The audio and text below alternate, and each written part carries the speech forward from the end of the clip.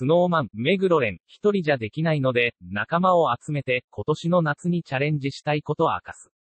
スノーマンの目黒蓮さん、27が、飲料製品の新 CM に出演し、今年の夏にチャレンジしたいことを明かしました。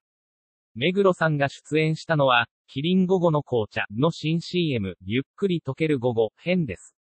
この CM は、海から上がった目黒さんが濡れた髪をタオルで拭い、紅茶を飲みながら、ゆっくりと過ぎる夏の午後を楽しむ物語となっています。